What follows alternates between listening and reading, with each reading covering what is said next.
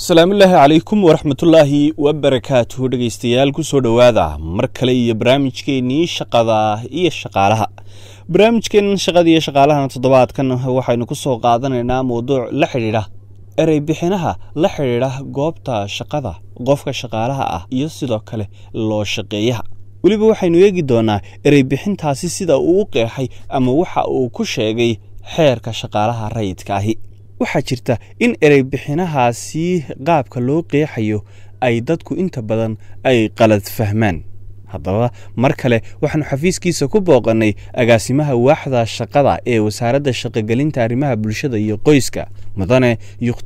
Mudane mukhtaar yuusuf maxamed ugu horreyn mukhtaar waxaan ku bilaabaynaa muxuu xeerka ee shaqaalaha rayidka ahi uu u yaqaanaa shaqaale? Maxaa looga jeeda bismi illaahi raxmaan raxiim kolley maanta waxaynu dur istaagi doonaa waynu faahfaahin doonaa qodobo yaroo ka kooban oo in badan madmadow ka gala dadka ama bulshada ku dhaqan jamhuuriyadda somalilan hadday yihiin muwaadiniinta iyo dadka ajaanibka labadaba marka qodobadaas wuxuu xeerku qeexay iyagoo faahfaahsan sidoo kalena waxa loola jeedo sharciyan tilmaamaya.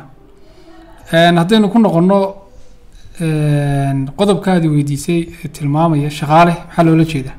Shaqaale waxaa loola jeedaa qof kasta oo fuliya howl ama u qabto shaqo cid loo shaqeeya ama yani cid loo shaqeynayo oo uu ka dhexeeyo heshiis shaqo oo uu bedelkeeda ku qaadanayo mushqaayad ama mushaar kolba sida dadka u yaqaanaan marka erey baa halkaa ku dhex jira tilmaamaya uu ka dhexeeyo heshiis shaqo. Heshiis shaqo markaa marka laga hadlayo dhowr qaabba uu noqon karaa. Kow qaabka koowaada noqon karaa waxa weeye inuu yahay mid qoraal ah. Oo labadii dhinac ay ku qorteen wixii ay ku heshiiyeen ama qoraal ay ku heshiiyeen. Qaybta labaad waxaan weeye waxay labada dhinac ku heshiin karaan af ahaan. Wixii ay isku fahmaan yacni ay ku wada shaqeynayaan qaybta saddexaadna waxaa dhici karta marmarka qaar inay signals ama waxa loo yaqaan suldhabaalaha ama wax kale qaab kale ay ku heshiiyaan. Marka saddexdaa qaabba uu heshiisku noqon karaa laakiin dadkeenu inta badan waxay fahamsan yihiin heshiis marka la soo hadal qaaday inuu yahay mid qoraal oo keliya. Weli eri bixinta haddii aynu ku sii soconno sidoo kale maxaa looga jeedaa loo shaqeey taa bedelkeeda tii horeynu tilmaamno inbay ka soo horjeedaa ama yani u dhowdahay loo shaqeeye waxaa loola jeedaa cid kasta oo heshiis shaqo la gasha qof shaqaale ah si uu ugu qabto shaqo taa bedelkeedana ku bixiya mushahar ama mushqaayad kolba sida loo yaqaano marka yacni waxa weye qofka cid shaqaaleysiiyey ee bixinaya mushahar ama mushqaayad uu yacni ku siinaya faa'iidadeeda qofka shaqaalaha ee shaqada u qabtay. Sidoo kale iyadana waxa la isweydiin karaa iyadana muxuu xeerku ku qeexay heshiis shaqo sida kuwa ku qeexan qodobka labaad ee erey bixinta aynu maanta ku dhex jirno. Heshiis shaqo waxaa loola jeedaa sida qodobkaa waafaqsan ee sharciga ah safagarad heshiis shaqo ah oo ay si xor ah ugu heshiiyeen shaqaale iyo loo shaqeeye. Inuu shaqo u qabto loo shaqeeyaha shaqaaluhuna ku qaato mushqaayad ama lagu siiyo mushahar marka iyadana waxaa halkaa ku dhex jirta kelmad sharciya oo yacni marka la macneeyo noqonaysa inay yacni si xor ah u galaan heshiiska. Si xor ah waxaa markaa meesha ka baxaya heshiis kasta oo lagu qasbay qofka shaqaalaha ah ama loo shaqeeyaha ah inuu qodobo ka mid ah waxyaabaha lagu heshiiye fuliyo isaga oo aan yacni xor ahayn.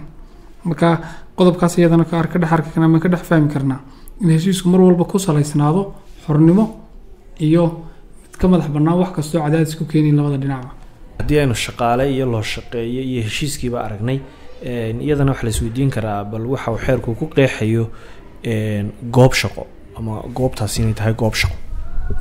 Waxay ka mid tahay qodobkani. Qodobada in badan midmidowga ku jira soo noqnoqda xeerka qodobka labaad ee erebixinta ka hadlaa uu qeexay goob shaqo wax loo yaqaan. Waxaanu tilmaamay in loola jeedo goob kasta oo ay ka socoto shaqo oo aan dawli ahayn.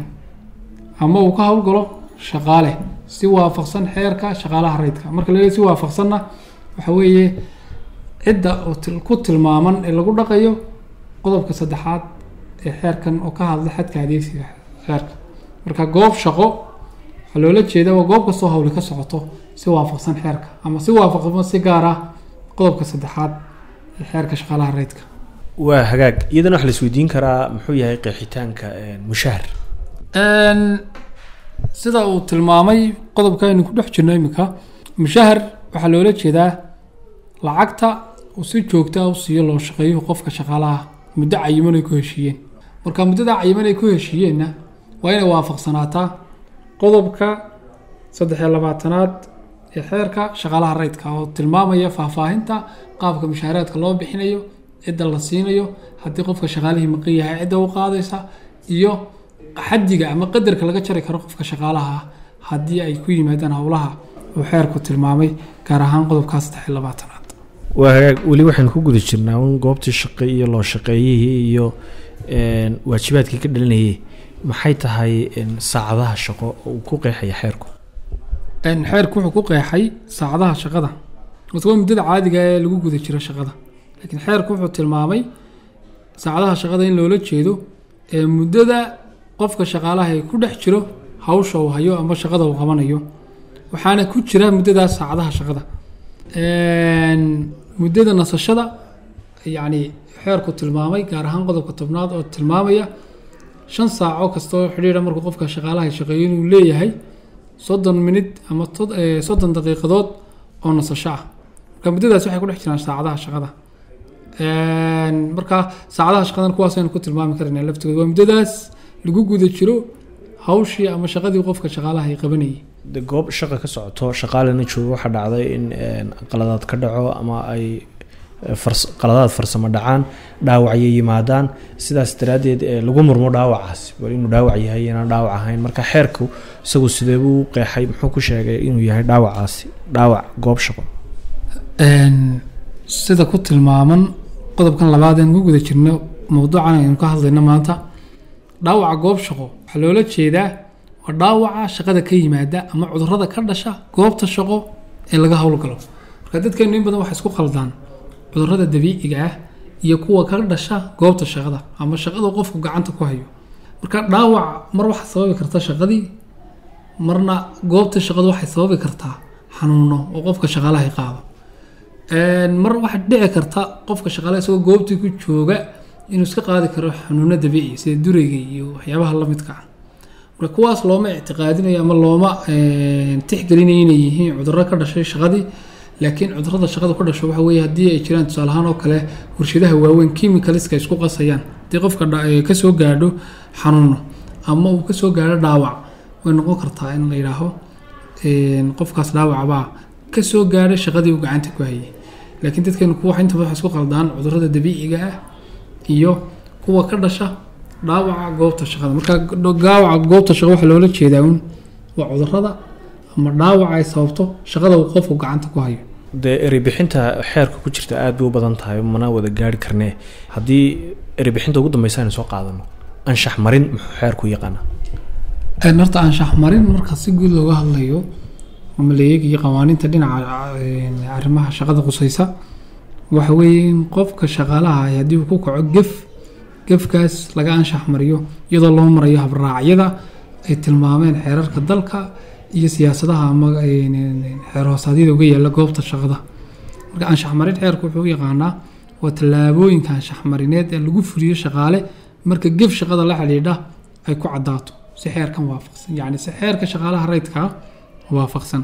Marka anshax marinta kolley waxa la maraa nidaam dheer ama hab dheer oo qofka shaqaalaha ahaa ee la siinayo xitaa muddo iyo waqti isku difaaco oo yacni kaga fal celiyo waxyaabaha lagu eedeyn in la doonayo in lagu anshax mariyo marka teen xoojinaynaa waxa weeye anshax marintu way ka ballaaran tahay waraaq la qoro. Inta badanna waxaad arkaysaa goob shaqo oo qoraysa waraaq ay leedahay waxaan ku anshax marinay qofka shaqaalaha iyadoon loo marin nidaamkii xeerku tilmaamay marka nidaamka anshax marintu mid qoto dheer wuxuu u baahan yahay shuruuc iyo xeer hoosaadyo ay goobta shaqadu yeelato iyadoo la raacayo xeerka guud nidaamyada uu qeexay ama uu tilmaamay uu leeyahay qaabka loo anshax maray gaar ahaan qodobka afariy afartanaad farqadaha afraad ilaa iyo sideedaad erey bixinahan inta badan sidaad sheegtayna ahaa kuwo dadku ay qalad fahmaan.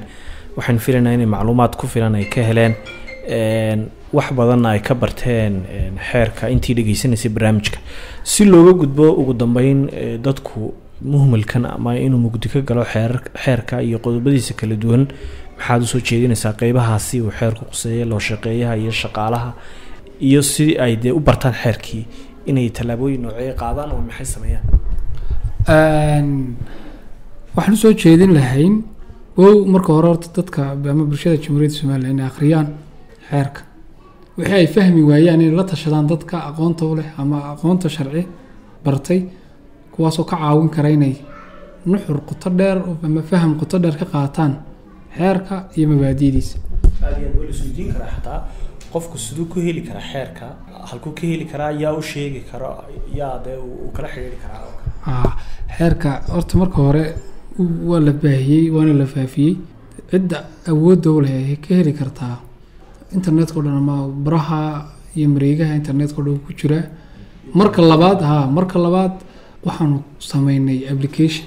Inta ciddii awood u leh ee heli karta bulshada waxaanu iyada sameynay application.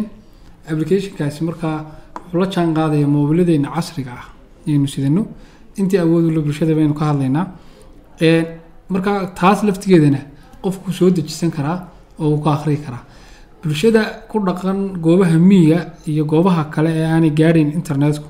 Iyaguna waxay ka dhageysan karaan radio hargeysa iyo muxuu ahaa wixii kale sidii kale ay ku heli karaan ama ay yacni ku qaadan karaan fahamka xeerka. Marka dadaallo badan kolle way jiraan oo la doonaya in lagu faafiyo laakiin soo jeedintu waxay tahay dadku inay mar walba la tashadaan cidda aqoonta leh. Dhinaca kale shirkadaha iyagana waxaan u soo jeedinaynaa inay yeeshaan dad kala taliya arrimaha sharciga si aanay ugu gefin qofka shaqaalaha xuquuqaadkiisa iyo wixii uu xaq u leeyahay.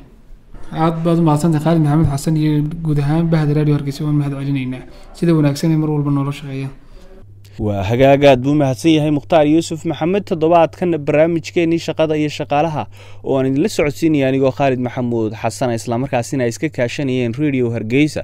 Iyo sidoo kale wasaaradda shaqogelinta arrimaha bulshada iyo qoyska ayaa intaasi inoogu dhan. Tan iyo intaynu barnaamijkan mid lamida isugu iman doonana sidaas iyo nabadgelyo